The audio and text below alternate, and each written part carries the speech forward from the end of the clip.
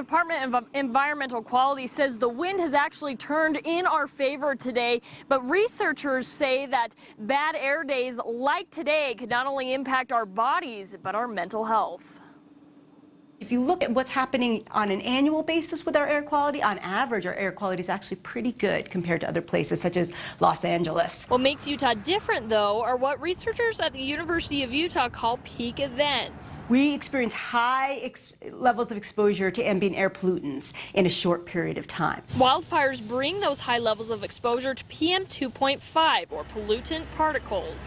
But Utah's mountains also make it so peak events happen in the winter as well. The way that the mountains actually um, force the air into a certain pocket, unless there's precipitation, the air pollution will actually build up from day to day. Air pollution is considered an irritant to the body, and these professors are looking into how our body reacts to inhaling that irritant.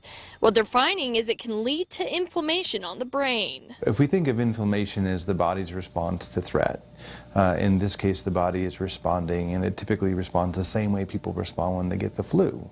So they tend to feel a little bit less energy, they tend to feel like they want to stay inside, maybe get a little dehydrated. Living in high elevations, Utahns are already living in a mildly hypoxic state, meaning our oxygen supply is already limited.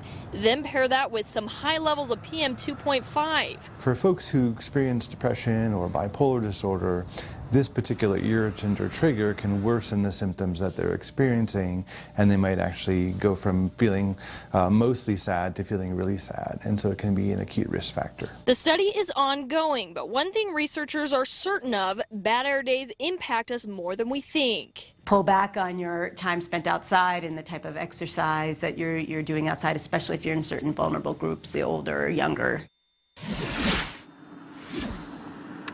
Now, a good rule of thumb is if you can smell smoke in the air, that means the air pollution is at unhealthy levels.